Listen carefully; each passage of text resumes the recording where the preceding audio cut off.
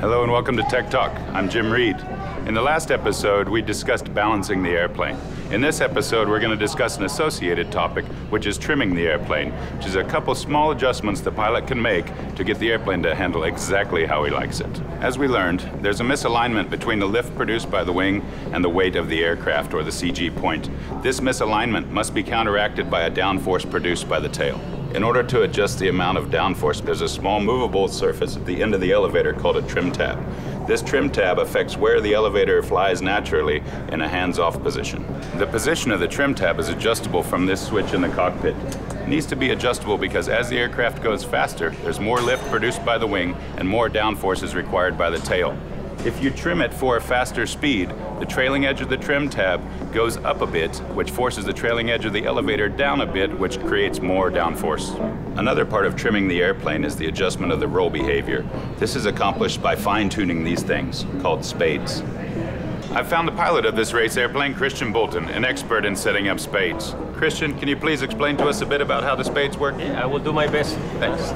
Well, as you can see here, uh, this is the aileron of my race plane.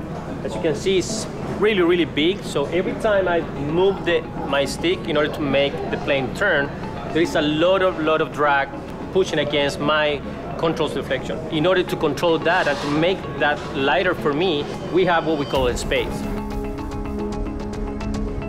Well, as we can see here, every time the air comes into this surface, it will help me to deflect the ailerons to make it lighter. Because the air is hitting the top of the Exactly. surface. yeah. And I understand there's two basic adjustments, the position of the spade fore and aft, and then the pitch angle of the spade. How do those affect how the aircraft handles? If we take the spade and we move it forward, uh, what is going to happen actually is the ailerons will be really, really light, and if we move it backwards, it will start to get more heavy in the filling. So on the other hand, if we change the angle of attack of the spade, for example, if we increase the angle of attack, it will be lighter as well, and it will help me to to get the center of the ailerons. Okay. That's very, very important, especially every time I cross a gate to don't get an incorrect level pass uh, in the track.